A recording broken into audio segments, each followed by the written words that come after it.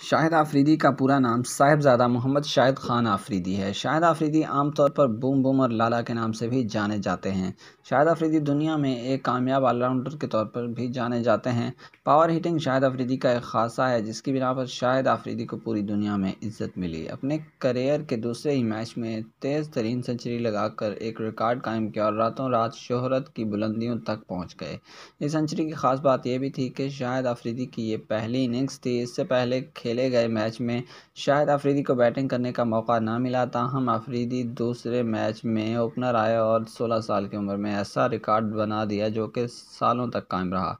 अब बात करते हैं शायद अफरीदी की पर्सनल इन्फॉर्मेशन की। तो शायद खान अफरीदी एक मार्च उन्नीस सौ पचहत्तर को खैबर एजेंसी, खैबर पख्तूनख्वा में पैदा हुए। अगर बात करें शायद अफरीदी की हाइट की तो शायद अफरीदी की हाइट पाँच फिट ग्यारह इंच है, जो कि सेंटीमीटर में एक सौ अस्सी सेंटीमीटर बनती है। राइट हैंडेड बैट्समैन और राइट आर्म लेग स्पिनर हैं। बात करते हैं शायद आफरीदी के इंटरनेशनल करियर की। तो शायद आफरीदी ने उन्नीस सौ छियानवे से लेकर 2018 तक पाकिस्तान की नुमाइंदगी की।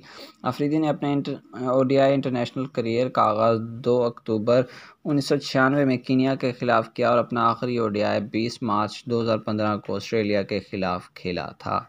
शाहिद आफरीदी का ओडीआई कैप नंबर 109 है। तो अब बात करते हैं टेस्ट की। तो टेस्ट करियर का आगाज़ शायद अफरीदी ने 22 अक्टूबर उन्नीस सौ अठानवे को ऑस्ट्रेलिया के ख़िलाफ़ किया और अपना आखिरी टेस्ट भी ऑस्ट्रेलिया के ख़िलाफ़ ही तेरह जुलाई 2010 में खेला। शायद अफरीदी का टेस्ट कैप नंबर एक सौ तिरपन है। टी ट्वेंटी की बात करें तो शाहिद अफरीदी ने अपना पहला टी ट्वेंटी मैच 28 अगस्त 2006 को इंग्लैंड के खिलाफ खेला था। ये पाकिस्तान क्रिकेट टीम का पहला टी ट्वेंटी मैच था और शाहिद अफरीदी ने अपना आखिरी टी ट्वेंटी मैच 31 मई 2018 को वर्ल्ड इलेवन की नुमाइंदगी करते हुए वेस्ट इंडीज़ के खिलाफ खेला था। आपको शायद अफरीदी के डोमेस्टिक करियर के बारे में नहीं बताते, क्योंकि लगभग शायद अफरीदी ने 24 टीमों की तरफ़ से खेला है तो वीडियो बहुत लंबी हो जाएगी अगर एक एक टीम का बताएँ आपको तो। शायद अफरीदी की इंटरनेशनल क्रिकेट के कुछ स्टैट्स आपके साथ शेयर करते हैं। शायद अफरीदी ने टेस्ट, सत्ताईस टेस्ट मैचेस खेले हैं, जिसमें सत्रह सौ सोलह रन बनाए हैं। एवरेज है छत्तीस इशारिया इक्यावन का, जबकि पाँच सेंचुरियाँ और आठ निसफ सेंचुरियाँ भी शामिल हैं, जिसमें टॉप स्कोर है वन फिफ्टी सिक्स अगर ओडीआई की बात करें तो शायद अफरीदी ने तीन सौ अट्ठानवे ओडीआई खेले हैं, जिसमें आठ हज़ार चौंसठ रन बनाए हैं, तेईस इशारिया सतावन का एवरेज है। कुछ छः सेंचुरियाँ और उनतालीस निसफ सेंचुरियाँ शामिल हैं, जिसमें टॉप बेस्ट स्कोर है उनका एक सौ चौबीस। टी ट्वेंटी की बात करते हैं तो निन्यानवे टी ट्वेंटी खेले हैं शायद आफरीदी ने, जिसमें चौदह सौ सोलह रन बनाए हैं, सत्रह इशारिया बानवे का एवरेज है। सेंचुरी जिसमें कोई भी नहीं है और चार फिफ्टियाँ शामिल है, जिसमें बेस्ट इनका फिफ्टी फोर है, जो कि उन्होंने 2009 के वर्ल्ड कप के फाइनल में बनाया था। और अब बॉलिंग के स्टैट्स आपके साथ शेयर करते हैं। टेस्ट में शायद आफरीदी ने इकतीस सौ चौरानवे बॉलिंग की है, जिस जबकि अड़तालीस विकटें हासिल की हैं, पैंतीस इशारिया साठ का एवरेज है।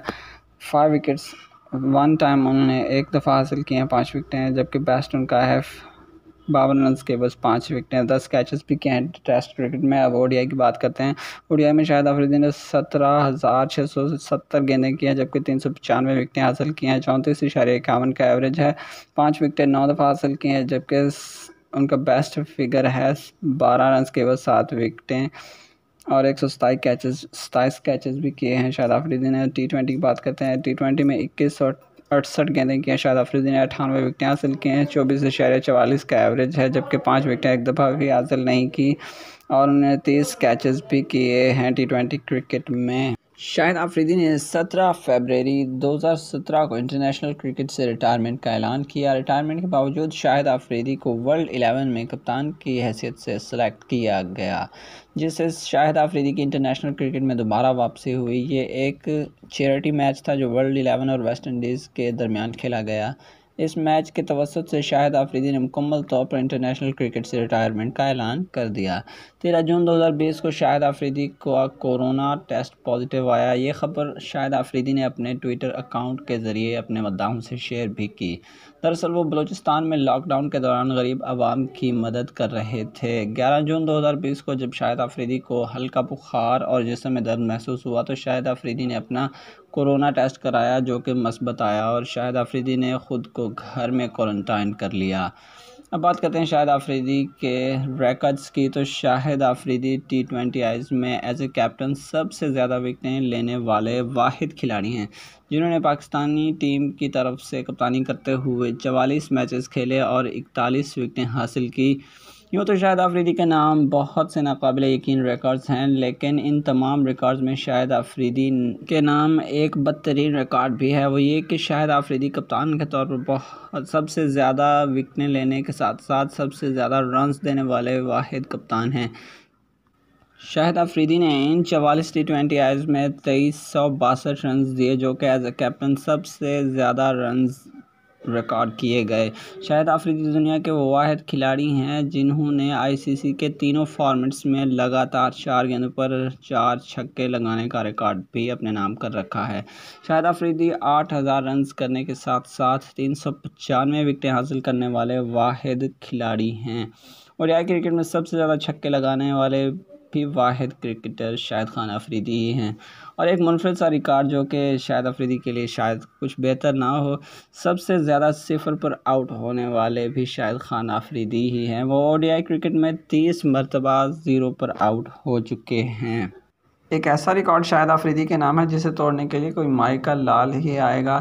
दुनिया में लगाए जाने वाले सबसे बड़े छक्के का रिकॉर्ड भी शायद अफरीदी के नाम है। साउथ अफ्रीका के खिलाफ जारी मैच में शायद अफरीदी ने एक छक्का लगाया, जिसकी लंबाई एक सौ अट्ठावन मीटर मैयर की गई।